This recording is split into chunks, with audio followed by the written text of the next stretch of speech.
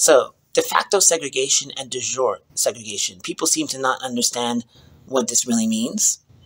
Uh, obviously, de facto is by custom. De jure means it was law, it was forced on the people.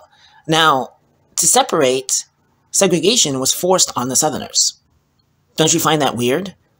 We're told that the South was far more racist than the North. It's not that the North wasn't racist, but the South was way worse than the North. That's what we're taught.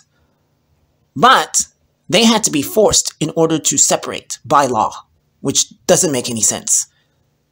Now, what does make sense is that the North was far more racist than the South.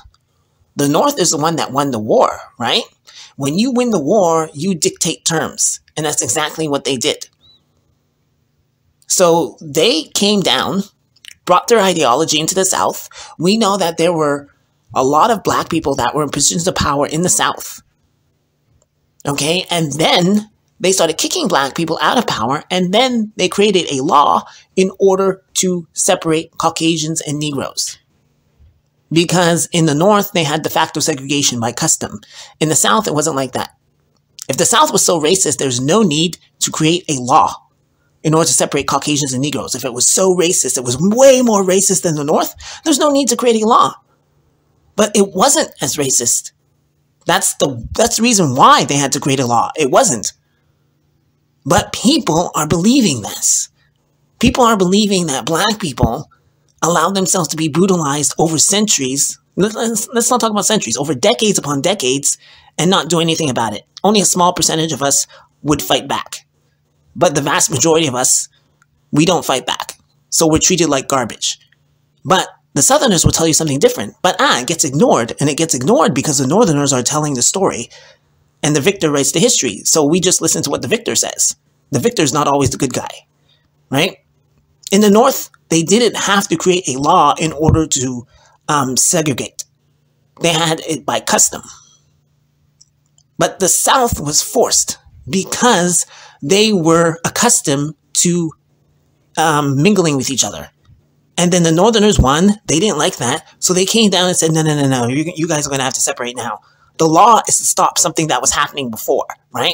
So before that, there was mingling, a lot of mingling. That's one of the reasons why Northerners did not like the South, because white supremacists don't like being around black people.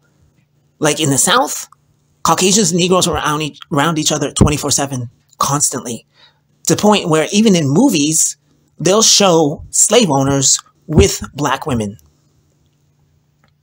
Now, in a white supremacist society, not interested in being around black people.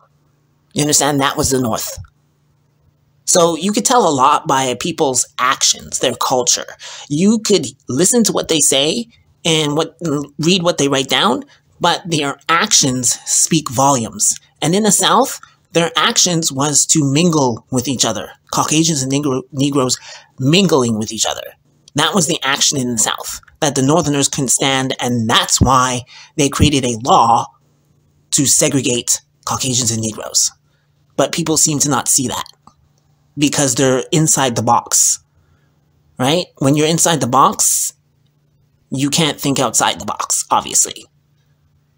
And if you're indoctrinated, you can't think for yourself. You you repeat the lies over and over and over again. Like it's like being in a cult. You repeat the same thing over and over again, you can't think for yourself. So now you know that the North was far more racist than the South.